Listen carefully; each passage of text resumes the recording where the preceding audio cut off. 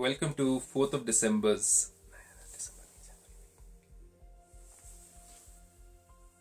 Welcome to 4th of January's Godly Blessing. Supreme God Father is guiding us about very subtle things in our life. He has a plan for us, and provided that we are following everything to the details that He's guiding us about, so that we can reach our completion. That means we can reach the stage where we are supposed to feel complete within. That means no emptiness anymore. So He's got certain guidance for us today, and they are very subtle points, but they're very important, crucial points for our life. We're going to explore them in a bit now. The most important thing which we learned about obedience in yesterday's Godly Blessing was that just like when somebody follows someone, let's say a boss or a superior or a senior family member, they get the blessings. Over here, also, for us to receive the blessings, we have to be obedient to the Godfather's guidance. So, let's go through. There are certain points, four of them, through which we're going to understand what exactly does the obedience comprise of. So, God says, May you have an elevated character and remain constantly powerful by finishing any burden of disobedience about small things. So these are burdens. Now, how do you feel the burdens? Irritation when we don't follow godly guidance or dictates.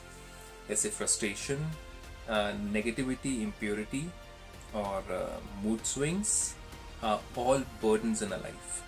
So then God here gives us a little bit of guidance to refine or tweak those things which we need to follow so that our burdens are reduced.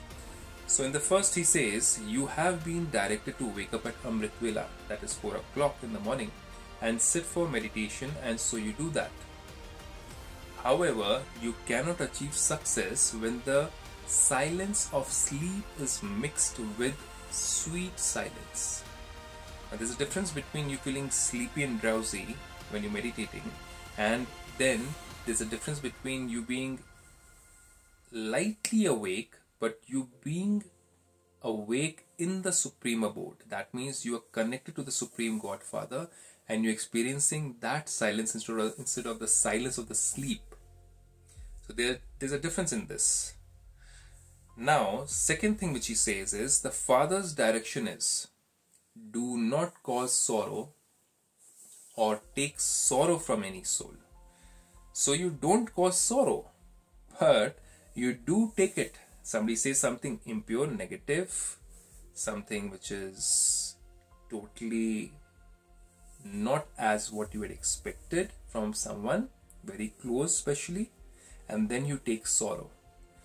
That means we don't have the power to have self value, we don't have the power to put a full stop to the other person's thoughts or dictates about us because we don't have our own self value, we don't have our own self affirmations, we don't have our own self respect. That's why somebody else's words are more important to us. So God says that, but you take it.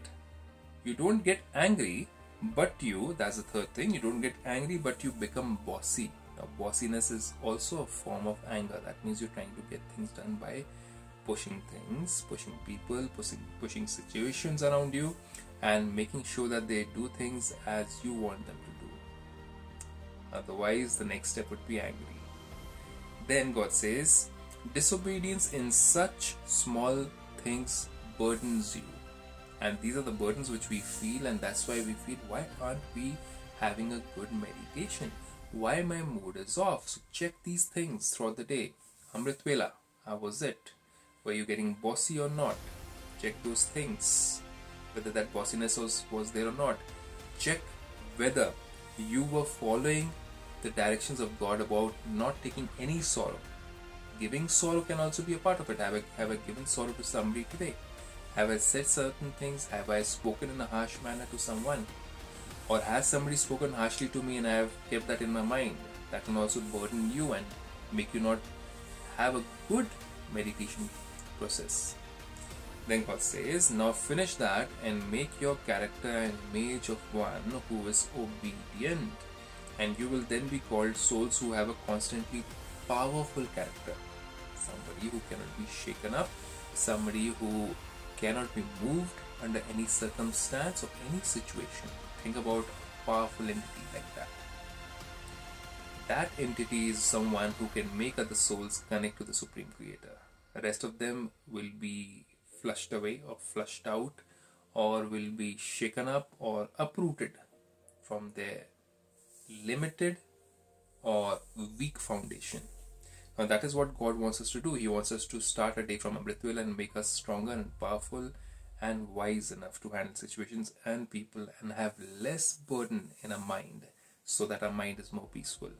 How do you do this? How do you reach this situation? How do you reach this form of mental state is what you learn in Brahma Kumaris on a daily basis. Do come over and learn this beautiful process with this Om Shanti.